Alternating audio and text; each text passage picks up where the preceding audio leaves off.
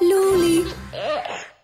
יושב באמבטיה עמוס, שופך מבקבוק אל הכוס. בוק בוק בוק! ועכשיו, מן הכוס לבקבוק. פאק! קצת ניש. עוד הפעם.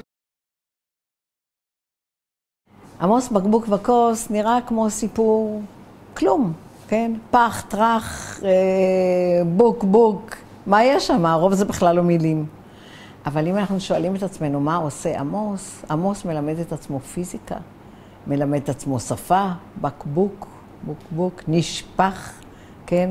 הוא מלמד את עצמו אה, מיומנויות, הוא מלמד את עצמו ללמוד תהליך שלם ולהגיע למסקנה, אוי, רקע בקבוק. אוי, אוי, אוי, אוי. כבר ריק הבקבוק. מה שמרתק בעמוס ומדהים אה, לגלות שבעצם הרגע שבו עמוס כבר לומד, יודע, כן? זה הרגע שבו נגמרים המים, נגמר החומר. כלומר, מה שעבר לעמוס זה איזושהי תובנה ולא חומר. אנחנו הרבה פעמים מתייחסים ללמידה כאל תהליך של העברת חומר, כן?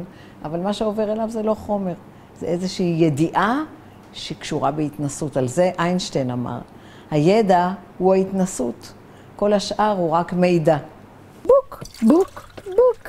הסיפור עמוס בקבוק וכוס הוא דוגמה נהדרת לסיפור שהוא מתחיל באמבטיה, וכאשר הילדים כבר באמת מכירים אותו טוב, את כל הטקסט והכל, פתאום מפגישים אותם עם הספר, וזאת התרגשות עצומה לגלות את אותו הסיפור שהם מכירים כבר כל כך טוב, פתאום בספר.